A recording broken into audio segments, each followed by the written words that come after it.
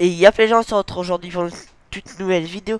Une vidéo pour, pour faire un, glitch, euh, enfin, un glitch, on va dire plutôt une astuce assez funny. Donc vous pouvez euh, voir où ça se trouve sur la carte.